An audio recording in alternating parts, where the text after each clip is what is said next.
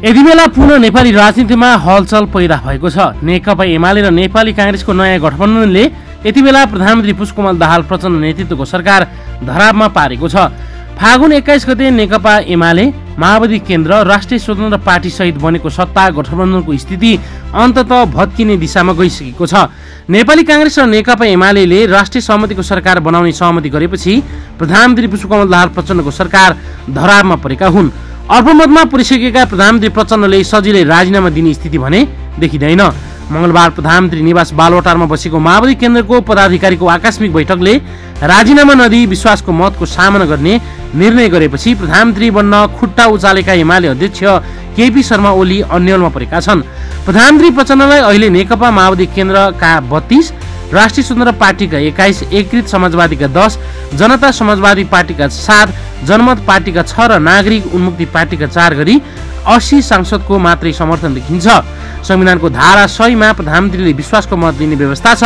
उपधारा दुई अनुसार प्रधानमन्त्रीले प्रतिनिधित्व गर्ने दल विभाजित भएमा वा सरकारमा सहभागी दलले आफ्नो समर्थन फिर्ता लिएमा तिस दिनभित्र प्रधानमन्त्रीले विश्वासको मतको लागि प्रतिनिधि सभा समक्ष प्रस्ताव राख्नुपर्नेछ। त्यसअनुसार प्रधानमन्त्रीले विश्वासको मत प्राप्त नगरेमा मात्र नयाँ सरकार गठनको प्रक्रिया अघि बढ्नेछ। सरकारमा सहभागी दलले समर्थन फिर्ता लिएमा तिस दिनभित्र विश्वासको मत लिनुपर्ने संविधानले नै दिएको सुविधा छ। त्यसभन्दा अघि प्रधानमन्त्री प्रचण्डले हटाउने कुनै उपाय नभएको कानुनविदहरू बताउँछन्। संविधानको धारा सयको उपधारा दुई अनुसार प्रधानमन्त्रीले तिस दिनभित्र विश्वासको मत दिने र विश्वासको मत प्राप्त नगरेपछि बल्ल नयाँ सरकार गठन प्रक्रिया अघि बढ्नेछ प्रधानमन्त्रीले विश्वासको मत नपाएमा राष्ट्रपति रामचन्द्र पौडेलले नयाँ सरकार गठनको प्रक्रिया अघि बढाउनेछन् संविधानको धारा छयत्तरको उपधारा दुई अनुसार नयाँ सरकार गठनको लागि आह्वान गर्छन् कि उपधारा तिनमा त्यो परिस्थितिले बताउने कुरा हो। उपधारा तिन अनुसार सरकार गठनको लागि आह्वान भए ठुलो दलले सरकारको नेतृत्वको लागि दावी गर्नुपर्ने हुन्छ। प्रतिनिधि सभामा अहिले नेपाली काङ्ग्रेस ठुलो दल भएको कारण ठुलो पार्टीको संसदीय दलको नेताको हैसियतले शेरबहादुर देउबा प्रधानमन्त्री बन्न सक्ने बाटो खुला रहनेछ। सोमबार राति सहमति गर्दा नेकपा एमाले यही सुनिश्चितता खोजेको थियो। सोमबार राति नै काङ्ग्रेससँग सहमति गर्दा उसले राष्ट्रपतिसँग पनि परामर्श गर्न खोजेको थियो।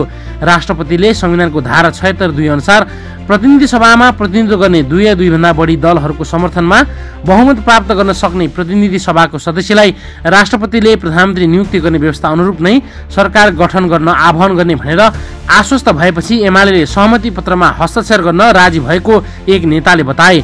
सर्वोच्च अदालतले पनि यसबारे व्याख्या गरेको छ। सर्वोच्च अदालतले धारा छयत्तरको उपधारा दुई अनुसार सरकार गठन नभएमा तिनमा तीन नभए पाँचमा सरकार गठन गर्ने व्यवस्था गरेको छ।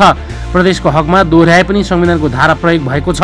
सुदूरपश्चिम कर्णाली लुम्बिनी कोशी बागमती मधेस आदि प्रदेशमा धारा एक सय अडसठी दुई दोहोऱ्याएर पनि प्रयोग भएका छन्। सरकार गठन हुन सक्ने अवस्थामा कुनै धारा दोहोऱ्याएर पनि प्रयोग भएका छन्। अहिलेसम्मको अभ्यासको आधारमा सरकार बन्न सक्ने अवस्थासम्म संविधानको धाराहरू प्रयोग हुने अवस्था देखिन्छ।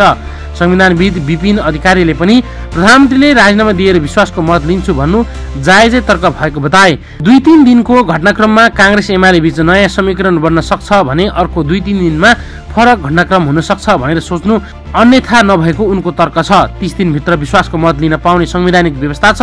यसबीचको परिस्थितिको आकलन गरेर उहाँले तत्काल राजीनामा नदिने मनस्थिति बनाउनु भएको हुन सक्छ काङ्ग्रेस एमाले बीच बन्न लागेको समीकरण अन्तिम पनि त होइन। यसभन्दा पछि पनि यस्ता अभ्यासहरू हुन सक्छन् उनको तर्क छ। बहुमत गुमाइसकेकोले प्रधानमन्त्री प्रचण्डले राजीनामा दिएर मार्ग प्रशस्त गर्छन् कि भन्ने विश्वासमा एमाले देखिन्छ। एमाले उपमहासचिव प्रदीप गेवालीले प्रधानमन्त्री प्रचण्डलाई राजीनामाको लागि आग्रह गर्ने बताए प्रधानमन्त्रीले नै मार्ग प्रशस्त गर्नुहोस् भन्ने चाहना हो। हामीले प्रधानमन्त्रीज्यूलाई राजीनामाका लागि आग्रह गर्छौँ भएन भने अरू प्रक्रिया अघि बढाउला। सबै कुरा प्रक्रिया अनुसार नै हुन्छ उनले भने। प्रधानमन्त्रीले राजीनामा नदिए संविधान अनुसार नै प्रक्रिया अघि बढ्ने एमालेको तयारी छ। नेकपा माओवादी केन्द्रका सचिव देवेन्द्र पौडेलले प्रधानमन्त्रीले गलेर राजीनामा नदिने संविधान बमोजिम संसदबाट विश्वासको मतको सामना गर्ने निर्णय गरेको बताए। अहिले सरकारलाई समर्थन गरेका दलहरूले समर्थन फिर्ता नलिएकाले विश्वासको मत कहिले लिने भन्ने विषयमा केही सोच नबनाएको उनले बताए। मध्यरातमा दुई दल बसेर गरेको सहमतिबाट राष्ट्रिय सहमति नहुने माओवादीले निष्कर्ष निकालेका छन्।